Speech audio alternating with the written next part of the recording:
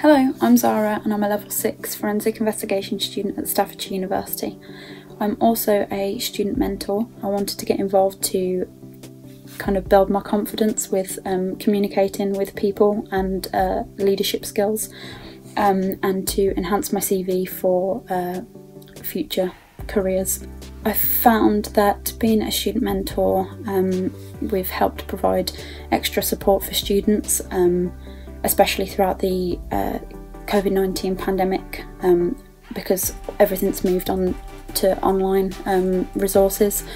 And I, I, feel like this has helped um, enable the students to talk and interact more um, with the lectures.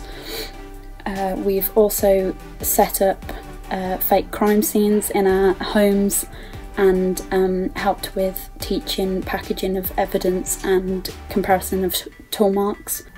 I feel like as I was a level 4 student, um, it kind of has helped me gain my knowledge, well, regain my knowledge of uh, level 4 and progress that throughout my uh, final year at uni. So if you're looking for a role that helps with uh, confidence, communication skills and leadership skills, um, student mentoring is for you and it's worth giving it a go.